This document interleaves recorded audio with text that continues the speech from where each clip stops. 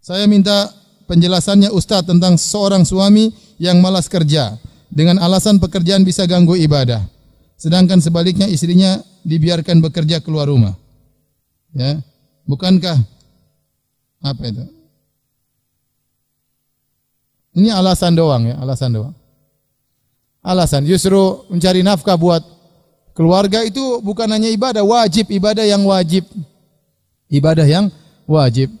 Bagaimana dia tidak mau kerja hanya ingin ibadah kemudian istrinya yang kerja ya. Ini yang suami yang mana istri yang mana ya?